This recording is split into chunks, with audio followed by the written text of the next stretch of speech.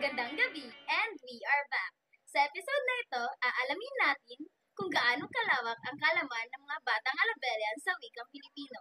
Tinanong namin ng ilan sa mga mag-aaral ng Alabel National Science High School na mga salitang di kadalasang ginagamit tulad ng pangulong hatinig, Panginain kawingan. at anluwage. Sige nga, kayo, alam niyo ba ang kahulugan ng mga salitang iyon? Tara, tignan natin kung alam ng mga bata ang kahulugan. Na, anong Tagalog ng headset? Sa tingin mo? Parang, uh, parang lang. Tagalog ng headset. Ang kahulugan ng pangulong at tinig ay earphones. Sige partner, paliwanag mo ang earphones. ang earphones, ito yung nilalagay natin sa ating tenga kapag ayaw nating makaistorbo ng ibang mga tao kapag tayo nakikinig ng mga music, ng mga, or nanonood ng mga movie, katulad nito.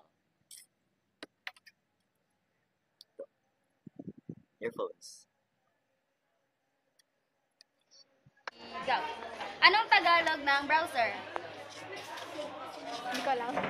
Tingin mo? Hindi ko talaga alam. Okay. Anong Tagalog word ng browser? Alam! Wala lang. So, pangalawang salita, panginain. Kung sa English pa, ito ay browser. Sige, Joanne, ano nga ang, ano, ang panginain? Anong kahulugan nito? Ang panginaid o browser ay ginagamit natin na mga aplikasyon para maka-access sa internet. Okay. Dili na, sige na. Anong Tagalog word ng hyperlink?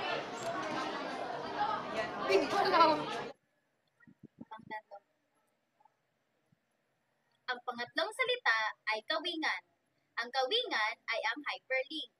Ang hyperlink, ito yung ginagamit natin sa mga presentasyon para ito yung mga highlighted words na kung saan pag kiniklik mo yon i-redirect ka sa isang page or kung ito, kadalasan ito nakikita sa Wikipedia na kung merong impormasyon na nakalagay sa isang ah, salita, pag naklik mo yon i-redirect ka sa isang page na kung saan marami namang impormasyon na tungkol doon sa salitang iyon.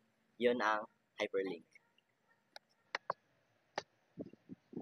Ang Tagalog ng carpenter. Karpentero. Gamitin mo sa pangungusap. Um, ang karpentero ay nagkukumpuni. Pang-apat na salita, anluwage. Kung sa English pa, ito ay carpenter. Ang anluwage o or mga carpenter, ito yung mga nagkukumpuni o gumagawa ng mga bagay na kadalasan gawa sa kahoy. Dahil sa lawak ng wikang Filipino, maraming mga salita akalain natin ay hiram na salita lamang. Ngunit, mayroon pa itong mga termino sa wikang Pilipino. Sana ay matutunan kayo. Sana'y patuloy kayong tumutok at sabay tayong matuto ng maraming bagay.